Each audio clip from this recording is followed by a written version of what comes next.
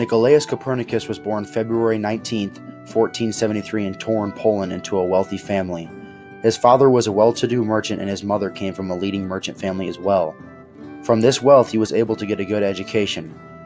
He traveled to Italy at the age of 18 to attend the University of Krakow to study law and regulations of the Catholic Church. Copernicus was the father of modern astronomy.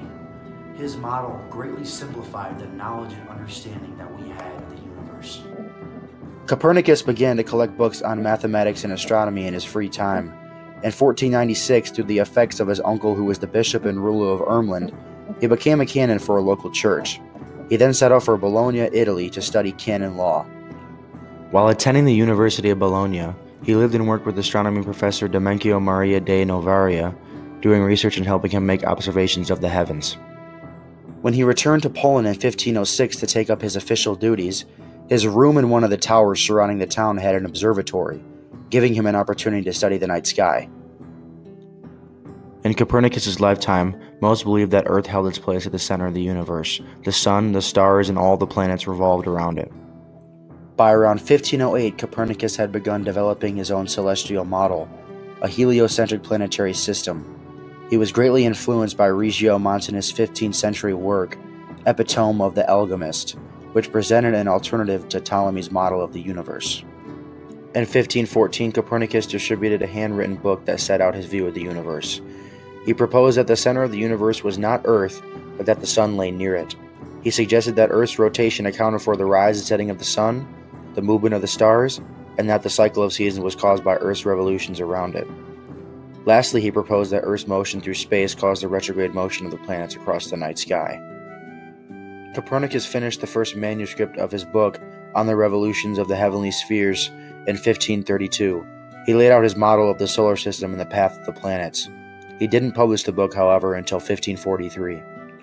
Copernicus's findings challenged the old model, and the church did ban the book in 1616 and were not allowed to be read for about three centuries. The Catholic Church wasn't the only Christian faith to reject Copernicus's idea. Religious leader Martin Luther voiced his opposition to the heliocentric system model, saying, This fool wants to turn the whole art of astronomy upside down.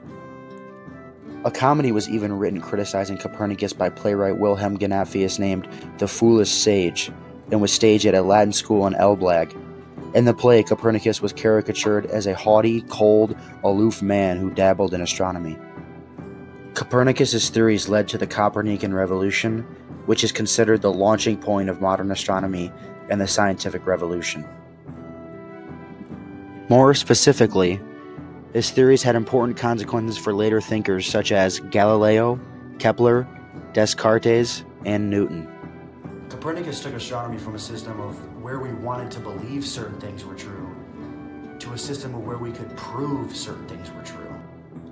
Copernicus also achieved other major things such as formulating the quantity theory of money, was the leading physician in Warmia, Poland, was an administrator of a town, organized the Polish defense during the siege of Allenstein during the Polish Teutonic War, and painted a self-portrait of himself. On May 4, 1543, Copernicus died from a stroke at the age of 70 in Frombork, Poland. Legend has it that he was presented with the final printed pages of his On the Revolutions of the Heavenly Spheres on the day he died.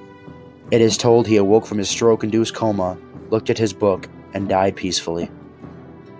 For many years, there was controversy on the location of the remains of Copernicus. He was reported to be buried in the Frombork Cathedral. That was until 2005 when his remains were found underneath the cathedral floor. Forensic experts used the skull to reconstruct a face that closely resembled Copernicus' features. The skull also showed it had belonged to a man who had died around the age of 70, which Copernicus did. DNA matched hair samples from a book owned by Copernicus, giving experts 100% experts 100% confidence that it was in fact Copernicus.